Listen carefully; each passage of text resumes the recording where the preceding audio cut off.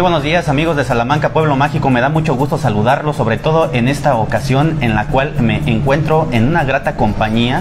Particularmente hace un ratito yo les estuve haciendo un post, una publicación en donde yo les estaba preguntando acerca de dónde se vendía el famoso diáfano, los combustibles antiguos aquí precisamente de este municipio. Y como bien sabemos, queridos amigos, amigos, pues es parte de nuestro acervo, nuestra cultura y me encuentro en la calle Juárez, esquina con Júpiter, donde precisamente se venden unas ricas y deliciosas quesadillas que indudablemente yo les debo de invitar a que vengan hasta este punto y me encuentro nada más y nada menos aquí a mi lado izquierdo que con la señora Lilia García, García Martínez.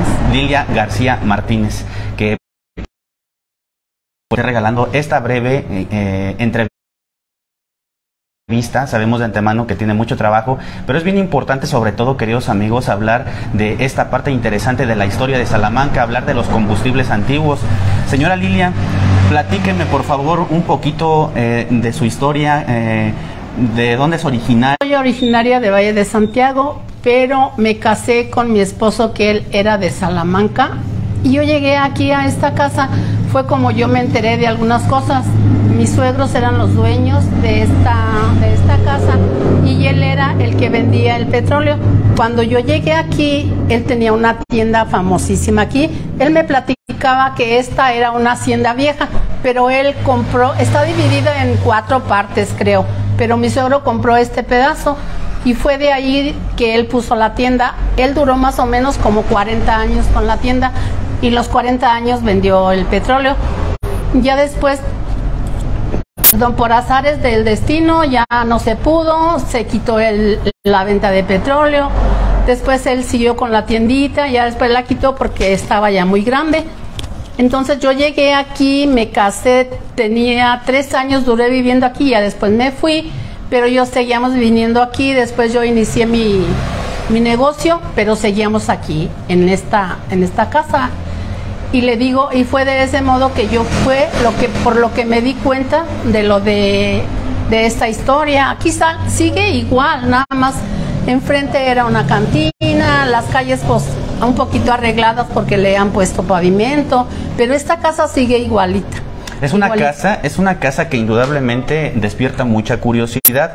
Eh, nuevamente dando la referencia, queridos amigos, nos encontramos aquí en la esquina Juárez, calle Juárez, con lo que es Júpiter, y pues indudablemente es una casa un poco antigua, este, con unos muros que todavía aún conservan ese aroma, a el famoso adobe.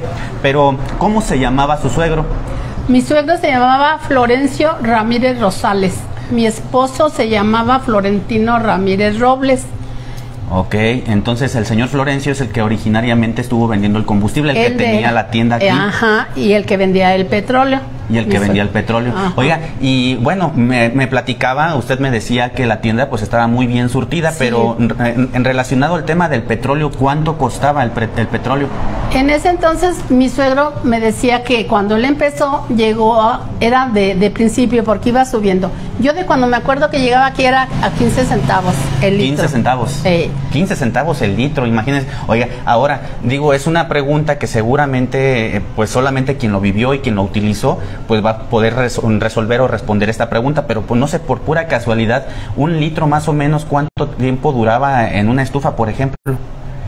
En una estufa, pues no, no duraba mucho, ¿qué cree? Porque yo nosotros también trabajábamos en una allá en mi rancho nosotros usábamos el petróleo y teníamos una estufita y con su barriquita gracias era una estufita de, de, petróleo y así no, no nos duraba mucho era como de dos litros eh, la bombilla que se decía y yo creo que duraba como un día como un día y, y medio dos litros como un día y medio dos litros es que esto dependía obviamente de la cantidad de cocción que se realizara, ¿no? Desde cuánto se ocupara, pero normalmente pues lo que más seguramente se ocupaba era para cocer los, frijoles, un ejemplo que era lo que más duraba. Ajá. Sí, entonces obviamente eh, el hablar de, ese tipo de cocciones eran largos y pues para día y medio pues estaba un poquito eh, pues ciertamente corto lo que era lo que duraba el, combustible.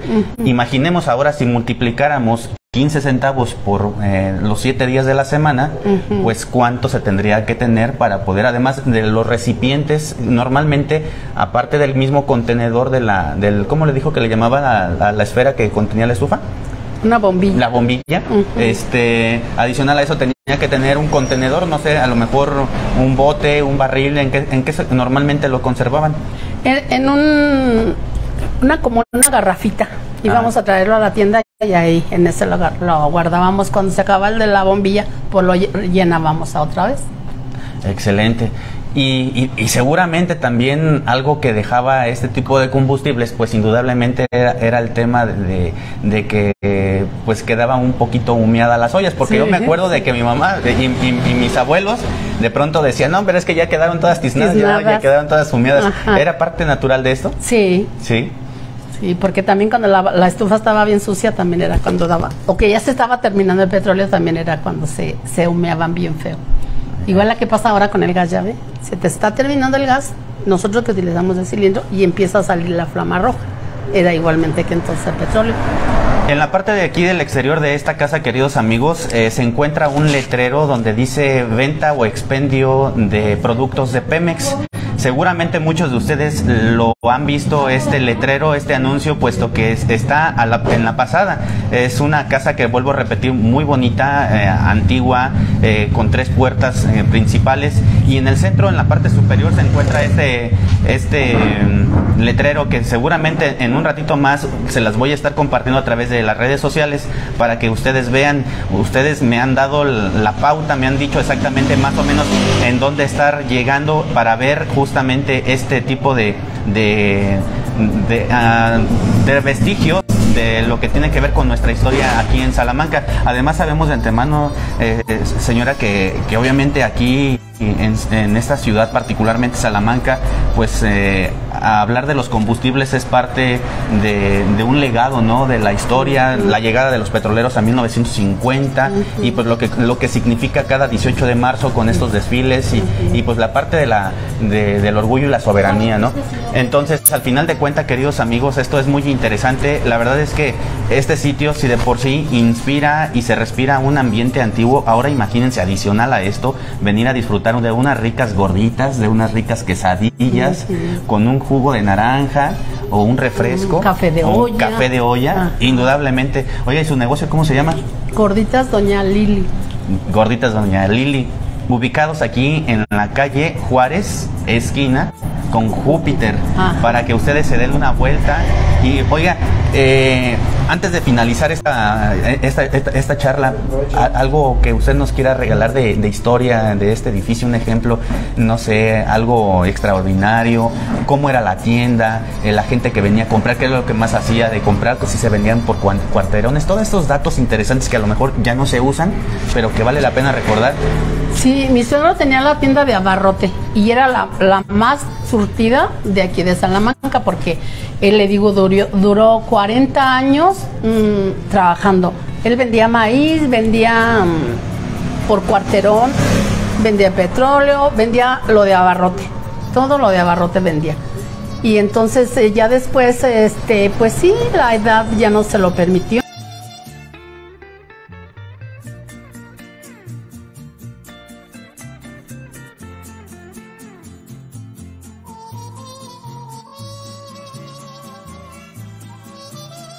Precisamente a una de las partes de la casa de la, de, la señora eh, que nos está atendiendo hace un momento aquí con la señora Lilia, que precisamente nos está mostrando el interior de la casa, una casa antigua, indudablemente llena de muchos recuerdos, muchas cosas que inspiran, todas las fotografías que están en este sitio, por supuesto, nos llenan de muchos recuerdos. Aquí, precisamente, aquí en la parte superior, se encuentran unos sombreros. ¿De quién son los sombreros? De Florencio Ramírez Rosales, el dueño de la casa.